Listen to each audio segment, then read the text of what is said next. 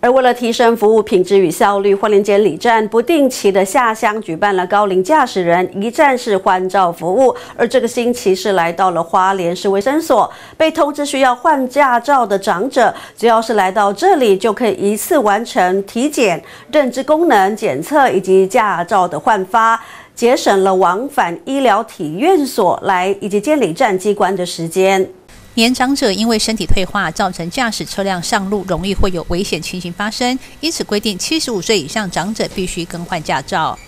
呃，民国三十年是七月一号以后出生年满七十五岁的高龄长者，好接到我们的通知的时候，就记得要来办理。另外呢，针对民国三十一年是呃六等于六七月一号以前，六月三十号以前的高龄长者，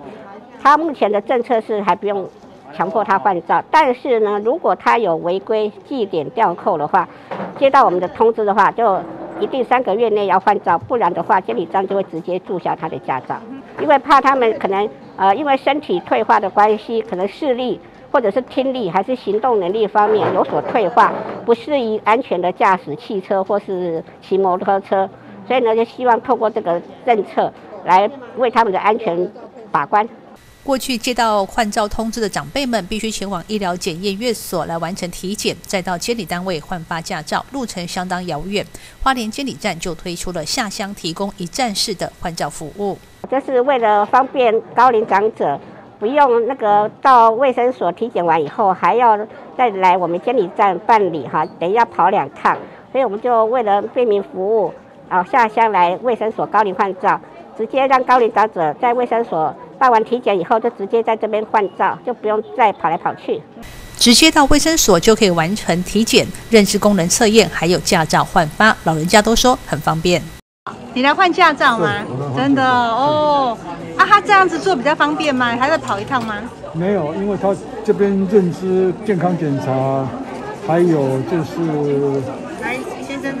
监理站也在这边服务，所以就不必再跑来跑去了，方便哦，方便，非常方便，还送礼物哎，还有礼物，真好，这就可以了，对，你就一张而已嘛，是，对对，这就可以了，谢谢，方便哦，非常方便，哎，你今天来办补办驾照啊？嗯，就办驾照，还打针，还做做认知测验都有，哦，真的，一次做完是？做完全部做完，是提前做完了，有没有比较方便？有有有有有，哦，这直接一次全部办完，就就办完了，哦，还有礼物哈，有有有，非常感谢。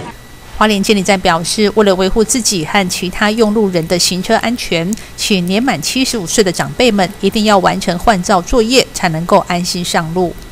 记者会换视报道。